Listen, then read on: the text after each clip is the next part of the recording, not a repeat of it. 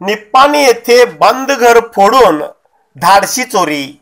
निप्पाणीत बंद घर फोडून धाडशी चोरी झाल्याचा प्रकार मंगळवारी रात्री पावले गल्ली येथे घडली. बंद घरातील साहित्य विस्कटून अज्ञात चोरट्यांनी अकरा तोळे सोने व चाळीस हजार रुपये असा जवळजवळ सहा लाखाचा ऐवज लंपास केला आहे. तर शेजारी राजनगर आडके प्लॉट मधील एक बंद घर फोडले. गेल्या आठ दिवसातील या भागातील ही चौथी चोरीची घटना आहे.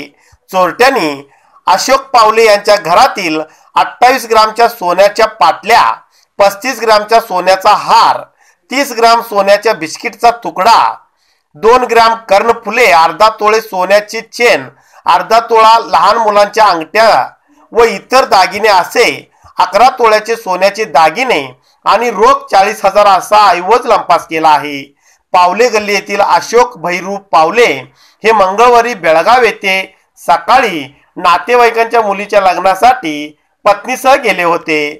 चोरट्यांनी प्रथम राजनगर आडके प्लॉटमध्ये निवृत्त शिक्षक अशोक शंकर जाधव यांच्या घरी चोरीचा प्रयत्न केला.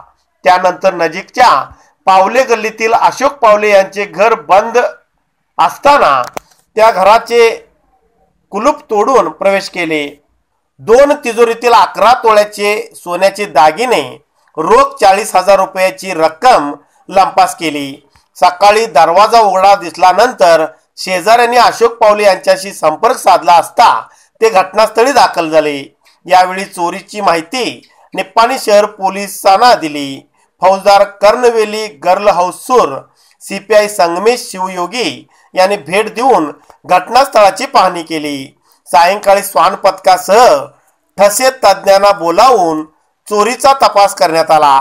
पण श्वानही पावले गल्ली जोशी गल्ली मिस्त्री गल्ली आडके प्लॉट परिसरात परत घराजवळ येऊन घुटमळताना दिसले.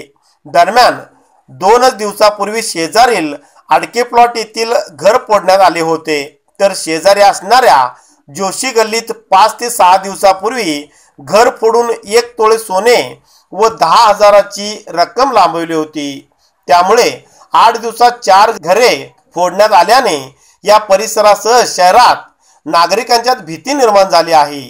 रात्री उशिरापर्यंत घटनेची नोंद करण्यात येत होती.